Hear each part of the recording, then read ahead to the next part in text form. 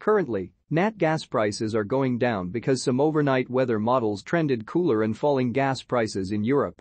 But the market is still strong because there's a high demand expected in the next 15 days. While traders are considering this news, we need some positive weather updates to push the prices up in the near future.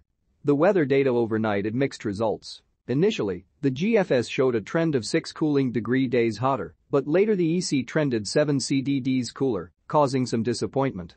Despite this, the next 15 days are still expected to be rather hot, with strong to very strong demand.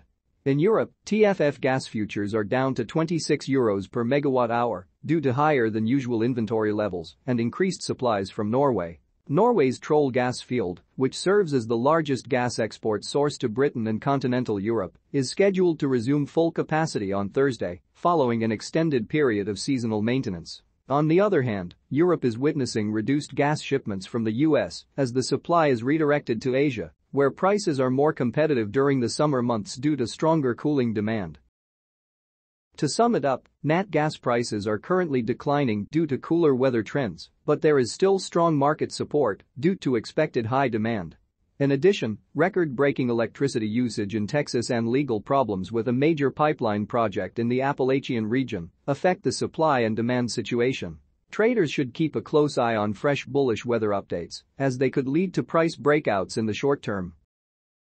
Nat gas has failed to break through the 100-day moving average at $2.78, but the market sentiment remains neutral to slightly bullish despite a decline from the previous session the main support sits at the $2.55 level, while the main resistance is $2.80. Tomorrow's storage report is anticipated to be slightly bullish, potentially leading to a change in the short-term trend. Otherwise, natural gas may test the support level at the 10-day moving average.